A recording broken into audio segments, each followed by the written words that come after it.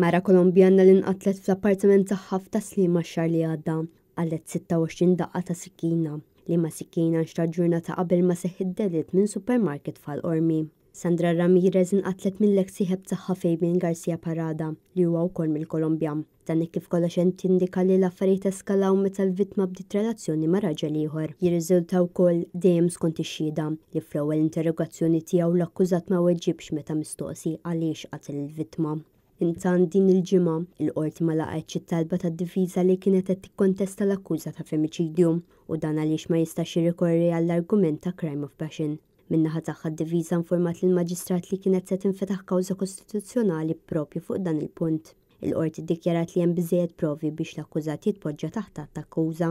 Il-kumpilazzjoni madwar dan il-każ se jkompli fit-tlettax ta' Marzu fil-ħdax u nofs ta' filgħodu.